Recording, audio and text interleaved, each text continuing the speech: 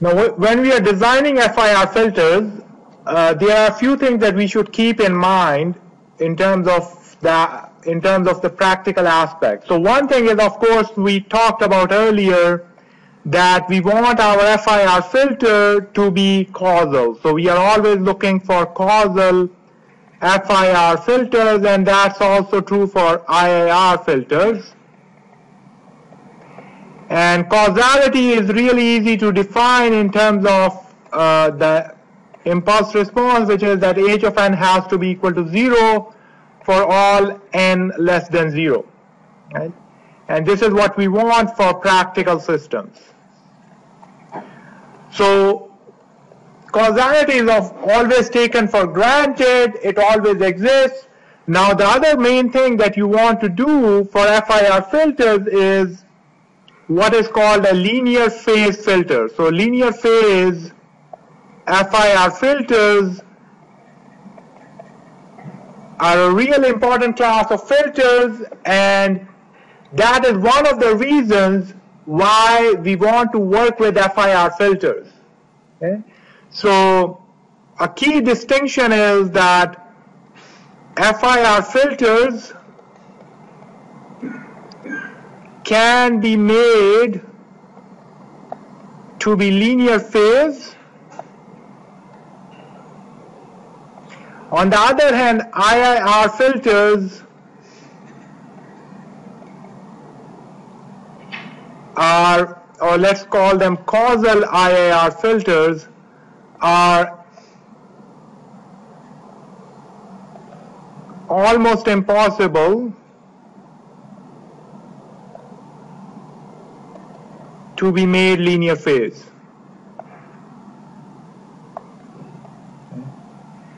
So that is one of the reasons that IIR filters are not preferred for applications such as speech processing or music processing or things like that because they are not linear phase. Okay, so what is a linear phase filter? So a filter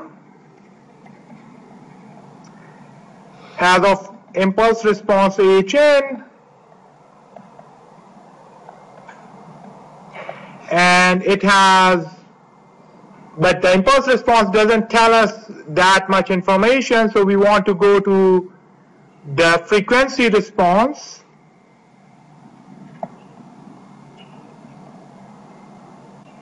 which is h of e to the j omega. Now the frequency response is made up of two components. One is the magnitude response, so the magnitude of your filter, the, and the other is the phase response. So h of e to the j omega or argument of h of e to the j omega. Now, so far we have only focused on uh, the magnitude response. So we often only talk about the magnitude response.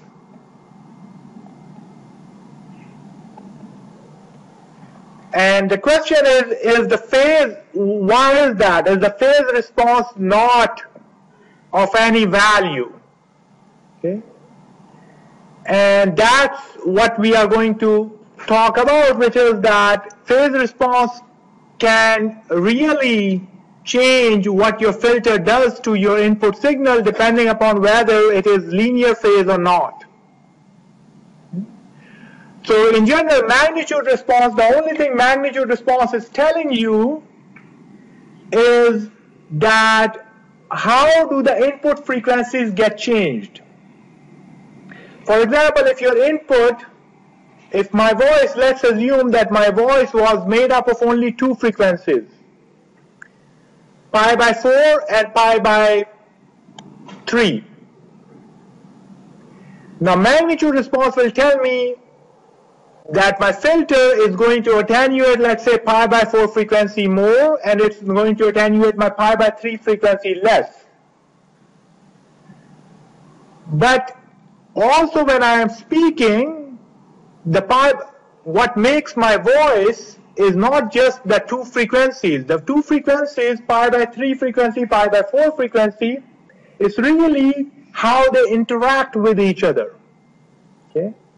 It's at some level, think of English language, you can say a word has an alphabet A and an alphabet E. But whether the alphabet A comes before E or after E changes the meaning of your word, right? So frequencies are components which make up my speech, but my speech, when I talk about it, the frequencies also have relative position to each other. Maybe one frequency will appear first and then the next frequency will appear. So there is this timing information which magnitude response does not capture. Right? It is again taking the analogy of English language, words, if I just say that a word has three letters, T, H, and E, well, it can be the, T-H-E, or I could make it E-H-T, which may not make any sense. Right? Why? Because I'm keeping the three components the same, but I have shifted how they were located with respect to each other. So that's the view you should take with respect to magnitude response, which tells you you input some frequencies and you get back the same frequencies, but it doesn't tell you what is the order in which you received those frequencies. So the, the phase response of a filter is effectively carrying the timing information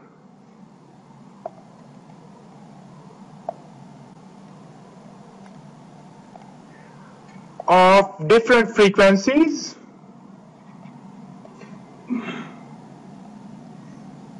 And in most cases it cannot be ignored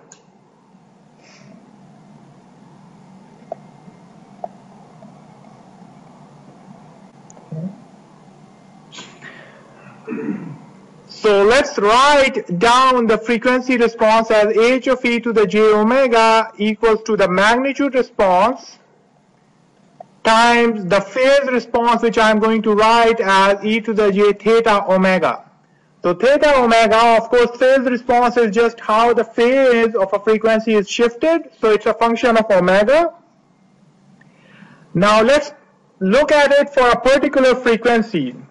So Let's take the example of h of e to the j omega equal to e to the minus j omega n naught. Okay. So in this case, my phase, my magnitude response is of course 1. So this is a filter which does nothing to the magnitude, but the phase response is this theta omega function is minus omega n naught. And we know what is the impulse response of this filter. The impulse response is simply hn equals delta of n minus n naught.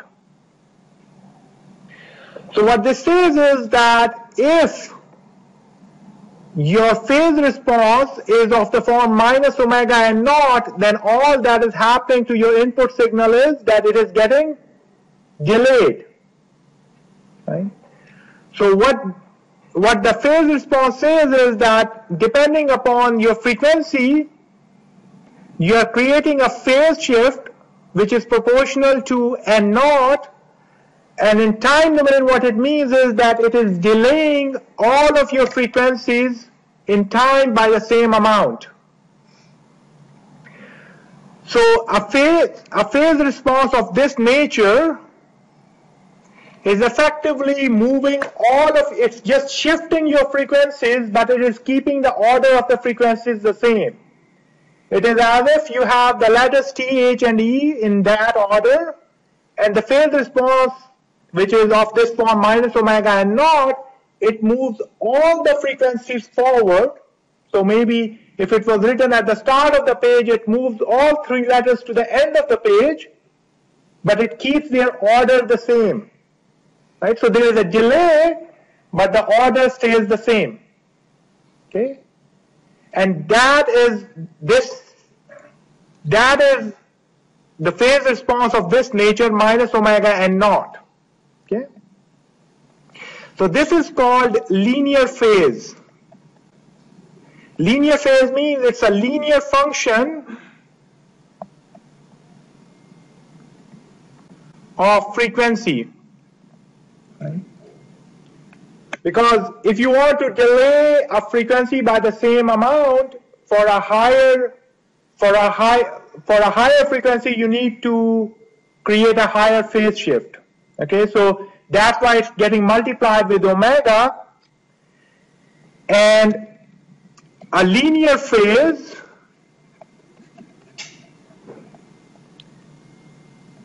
omega n naught simply means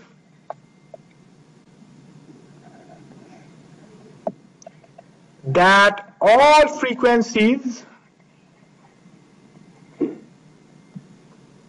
in the input signal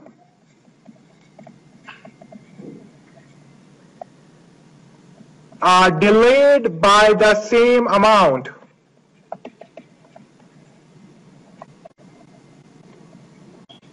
of n naught samples. Okay. and so linear phase is a very desirable property is desired since our perception of signals is not always just which frequencies are present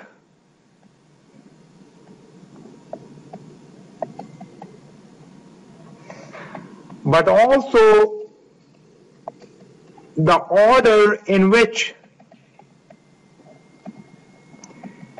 they appear in the signal. Okay. So linear phase ensures that the order of the frequencies that you have is preserved in the output signal. If your filter is linear phase, then the output order is not changed and in that case you can only focus on the magnitude response. So now it's not always possible to have a perfect linear phase. So how do people determine how close you are to the linear phase? It is measured through what's called the group delay.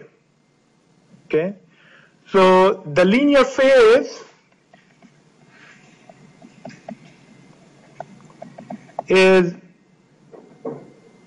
described often in terms of a quantity called the group delay.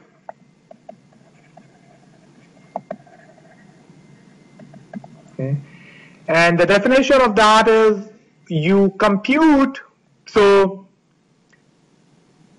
your, let's say you are given the phase response h of e, uh, so e, e to the j, the angle of your frequency response, and you write that as e to the j theta omega, so it's some function of omega. What you do is the group delay tau g of omega is simply you take the derivative of whatever is next to j, e to the j. So you take the derivative of theta omega with respect to omega and then you multiply it with a negative sign.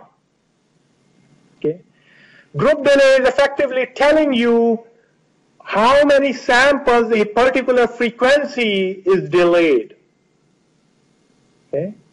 So in the previous example, when theta omega was minus omega n naught, this means that the group delay is n naught. Right? So what this says is that all of your frequencies are being delayed by the same amount, which is a good thing. Okay? On the other hand, let's say that you had a filter whose theta omega was minus 2 omega squared, so you compute the group delay and that comes out to be 2 omega. What this means is that higher frequencies are being delayed more. So this is a constant group delay is good, non-constant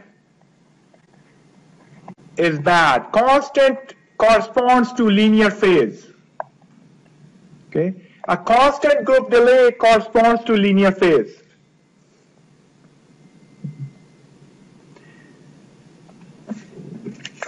So because of this reason, you want to work with filters, especially if your if your input signal has physical meaning. If it imparts some perception, for example, voice or speech or music or any other thing where it is not just the frequencies, but the order of frequencies matter, then it is very important to have a filter which is linear phase or alternatively to have a filter whose group delay is a constant or near constant. And FIR filters are preferred because of that, because FIR filters can be very easily made to have linear phase, where IIR filters cannot be made to have linear phase or causal IIR filters. This should be 4 omega.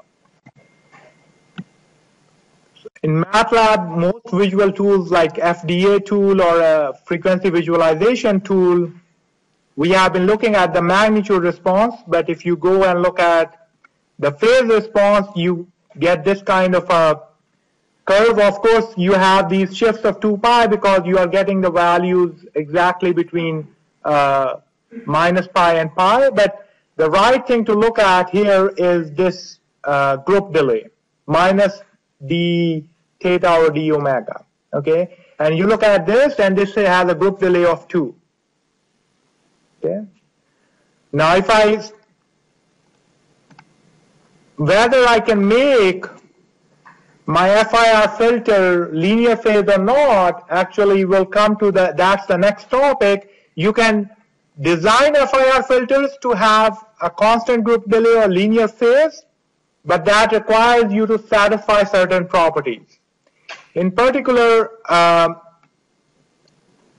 if I stop, if I don't satisfy certain properties, then I can actually make my group delay non-constant.